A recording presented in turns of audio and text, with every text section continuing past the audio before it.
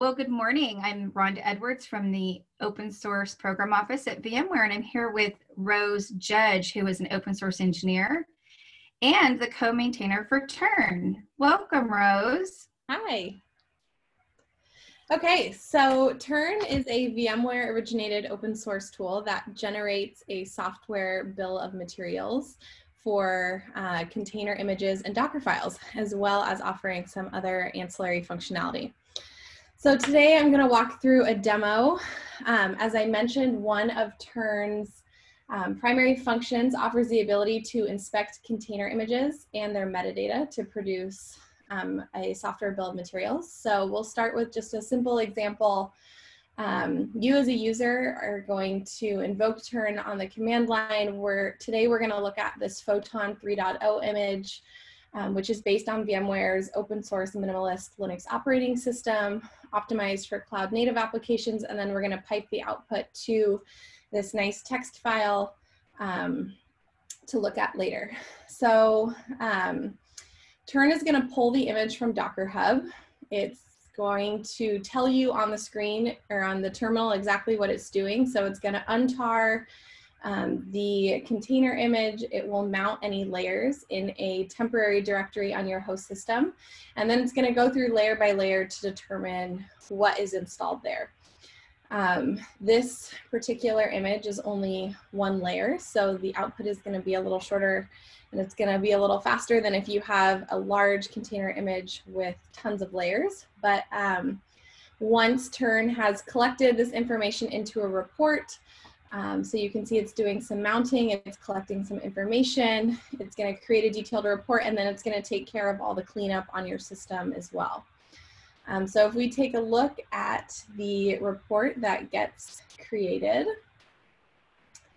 um, it's going to start by telling you the version of Tern that was used to generate this report. So right now we're working at the tip of master, but Tern also does have pip packages available. Um, it's going to tell you the image that it's inspecting. So um, this is Photon 3.0. It found VMware Photon OS Linux and etc OS release. Um, and then it will tell you the um, command that actually created this layer. And that's not apparent from just looking at the Photon 3.0 image tag. Um, and then it's going to give, it's going to collect information about the um, packages, their licenses, versions, project URLs, and it's going to give you the information on exactly how it does that. So Tern aims to be transparent to its users. Um, so um, in this first layer, it found um, all of these packages. And then these are all of the licenses associated with said packages. This particular container image is only one layer. So um, it's only reporting on that one layer, but if you had multiple layers, it would give you a summary for each layer. Um, and then at the end, it will just give you a full summary of all the licenses found in the entire container image. So um, I mentioned that Tern can also do this for Docker files. So for time's sake, I already generated um, the output file, but Tern has a Docker file available. It's really simple. Um, and if we run Tern on this Docker file, it's going to, instead of pulling the image from Docker Hub, it's going to attempt to actually build a container image from that Docker file.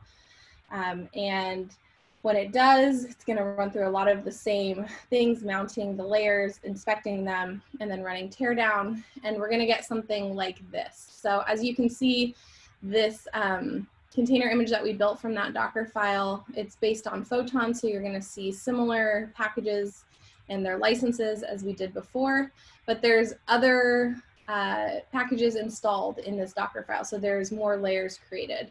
Um, and in, the, in this layer, the second layer, it found more packages um, and licenses associated with them. And then this third layer, it didn't find any packages there. So again, it will give you the summary of licenses found in the container um, in a nice, easy, human readable way. And um, you can do with that information what you want. Uh, we have a couple other ways of displaying this information. So um, you can represent the information in JSON or YAML format.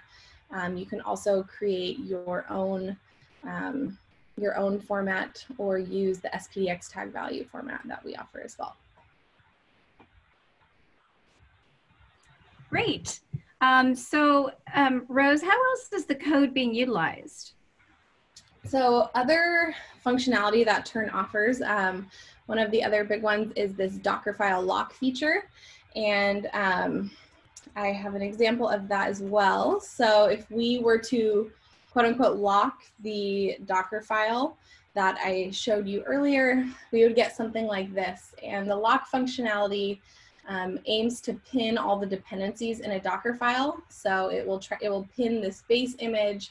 It's going to pin the package versions that it finds at the time Dockerfile lock is run. And the goal is to help you create Docker files that will in turn produce more reproducible container images. Um, there's also, Tern also supports extensions. So if you're familiar with ScanCode, um, it's an analysis tool that finds license information for files. So you can actually plug that into Tern and um, Tern will use ScanCode to find license information on files in a container. Um, and then we also have some debug functionality um, that can help you debug your container images, but take care of, Tern will take care of all the mounting and cleanup um, associated with that. Great. And where can everyone find the Tern application? So Tern is on GitHub. The easiest way to contact the maintainers is all in the Git um, in the GitHub.